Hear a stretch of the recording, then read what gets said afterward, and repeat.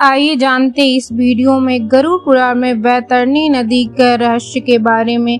गरुड़ पुराण में बताया गया है कि यमलोक का रास्ता भयानक और पीड़ा देने वाला है। वहाँ एक नदी बहती है जो कि 100 योजना अर्थात 120 किलोमीटर है। इस नदी में जल के स्थान पर रक्त और मवाद बहता है और इसके तट हड्डियों से भरे हुए रहते हैं। मगरमच्छ, सुई के समान मुख वाले भयानक कृमि मछली और वज जैसी चोंच वाले गिद्धों का ये निवास स्थल है।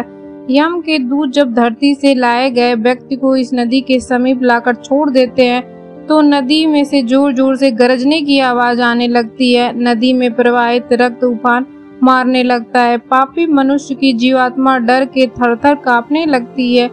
केवल एक नाव के राह इस नदी को पार किया जा सकता है। उस नाव का नाविक एक प्रेत है।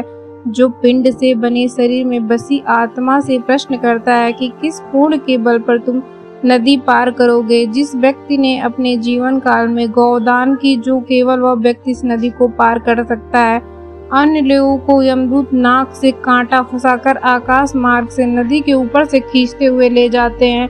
शास्त्रों में कुछ ऐसे व्रत और उपवास है जिनका पालन करने से गौदान का फल प्राप्त होता है।